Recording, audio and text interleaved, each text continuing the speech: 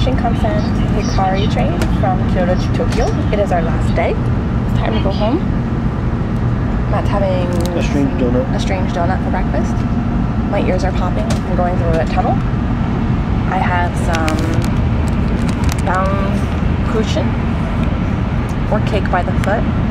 You can see like a bunch of little layers. It reminds me of fruit by the foot. I have my little oshibori.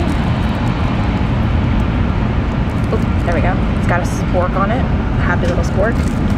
And my spo veggie. And I've got vitamin water. And we're going through a tunnel. Yeah, this is good vitamin water. Wait, it's not the good vitamin water? What did you say? It is a good one. Oh, yeah. That crap we get at home. yeah. Just kidding. I was gonna try to film outside, but I guess we're going through a mountain or something. It's still dark. It's reflection.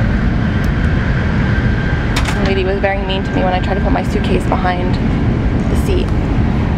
Oh, here we go. See we go very fast.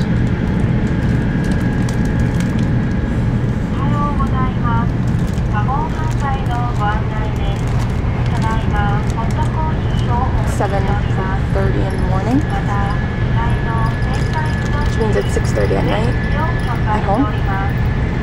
Our flight leaves at 4.30 in the afternoon and we get home at 4.30 in the afternoon. So today will be the longest day of our lives.